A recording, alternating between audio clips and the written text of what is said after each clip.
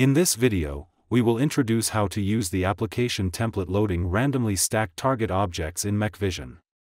Here, with this template, vision-guided robot can pick randomly stacked bolts from a bin. The actual picking performance is as shown here. To achieve this, make sure to complete preliminary work first, including vision system hardware setup, deep learning model training, robot communication configuration, and hand-eye calibration. Then, proceed with Vision Project configuration. The steps for configuring a Vision project are as follows connect to camera and acquire images, recognize target objects, adjust poses, locate bin, plan robot path, and output planned path. Of these, the first four steps are for recognizing and locating targets, while these two are used to plan the robot picking path. This video focuses on recognition and location configuration in vision projects. Here's a quick overview of the configuration approach. First, capture images to obtain depth maps and color images. Second, recognize target objects. For the randomly stacked bolts in this scenario, adopt a vision strategy that combines 3D matching with deep learning assisted segmentation. Then, further adjust the object poses as the actual scenario requires. Additionally, the bin position may change slightly here. Thus, to avoid collisions, recognize and locate the bin. Finally, output the information about target objects and bins. These can be used for planning the robot picking path to achieve successful picking. Given the use strategy in the above recognition process, we need to generate an object point cloud model and prepare a pre-trained deep learning model package. The object model here is generated from an object STL model, so prepare the STL model also in advance. Once these preparations are completed, it's time to configure the project specifically. Open Mech-Vision. Select Create from Solution Library.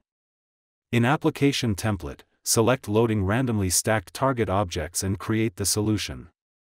After entering the solution interface, select Capture images from camera. This step is used to obtain the image data from a real camera, and import the previously calibrated extrinsic parameters into the project to establish the spatial relationship between the camera and the robot. Please make sure the configuration parameter group is threaded rod, which should match the one configured in Mech-Eye Viewer. Then, configure 3D target object recognition. This step integrates several vision processing functions to facilitate quick target object recognition. To begin with, set an effective ROI to improve the recognition speed and stability. The ROI should cover the entire bin and target objects in it, with an appropriate extension to accommodate slight bin position shifts. After this, generate the object model and the pick point. Select Import STL file as the method. Import the STL model of the object to be recognized. Configure set unit as needed. Following the model generation, set the pick point. As a two-finger gripper is used to clamp the screw, the pick point is set at the center of the screw. For actual bolt picking, the gripper is allowed to translate along the x-axis of the pick point. Therefore, set the translational relaxation to enhance the picking success rate. Save the generated object model and the pick point. Update the object model. Next, configure the deep learning model package to assist recognition. Import the previously trained package. Here, select the imported package. Switch the visualization view to deep learning result. Adjust the 2D ROI. Set a reasonable confidence threshold based on the segmentation results. Besides, set the dilation parameter. This is to ensure the deep learning model outputs complete mask information at the image edges, thereby obtaining more complete object point cloud. Continue to configure the 3D recognition parameters. Set the matching mode. Considering the numerous surface undulations of the bolt, it's recommended to configure the fine matching mode as surface matching. Meanwhile, it's important to use edge features to address axial misalignment issues while improving matching speed. Thus, use edge matching for the coarse matching mode. Run the step to see the recognition result changes. Subsequently, adjust the confidence threshold for target objects. Based on the recognition result and report, ensure maximum target object recognition while avoiding false matches. In the output, set the maximum number of successfully matched objects based on site conditions. Run the step to view the output. Configure the output ports.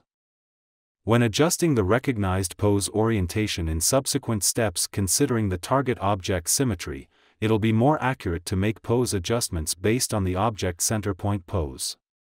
Thus, select ports related to object center point. In addition, as the orientation of incoming material varies, the bin position also changes. For this, select preprocessed point cloud for subsequent bin locating. At this point, the configuration related to 3D target object recognition is completed. Then, configure Adjust Poses v2. Upon the object pose recognition by the vision system, this step further adjusts the picking method. First, adjust the pose orientation. For the current scenario, randomly stacked bolts are the target objects. If the z-axis of objects point upright, the gripper of the robot may easily collide with the bin when picking the bolts near the sidewalls. To avoid this, rotating the z-axis of objects at an inclined angle via the point-to-reference point strategy is effective. For the reference pose, adjust picking orientation with a manipulator. Configure pointing axis and axis to be fixed as needed. Adjust symmetry angle to orient the object poses as closely as possible towards the reference pose. Next, set the pose sorting. Here, to pick objects with higher heights first, the poses should be sorted by height in descending order. Thus, select sort by XYZ value of pose. Set the two as z-coordinate and descending respectively. Also, based on the z-axis direction of the poses, set the filtering conditions to exclude obviously unsuitable poses. Configure filter by angle as needed. Just keep the default here. Proceed with filtering out poses out of 3D ROI. Set the number of new ports to 1 for outputting objects names matched with sorted poses. This facilitates subsequent collision detection. Navigate to the project interface. It can be seen that the Adjust Poses v2 step has additional input and output ports for receiving and outputting the object names. Connect the ports. Return to the Pose Adjustment interface. Click Get Data. The above are all configurations for adjusting the object poses. Finally, select Standard Bin Locating. This step is to recognize and locate the bin. In practice, the bin is not fixed in one position. Each time the camera captures an image, Mech-Vision will send the bin name and pose to Mech-Viz for updating the bin model. Thus, set the bin name here. Configure the translation distance. It's necessary to move the bin pose from its top surface to its center, so set the value to minus one half of the bin height.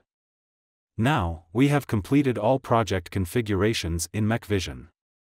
To enable bolt picking from the bin, coordinate the path planning configurations in Mech-Viz with the robot and send the planned path from Mech-Viz to the robot. For specific configuration process, please watch the video perform picking. You can refer to the documentation for more operations on the Vision project configuration.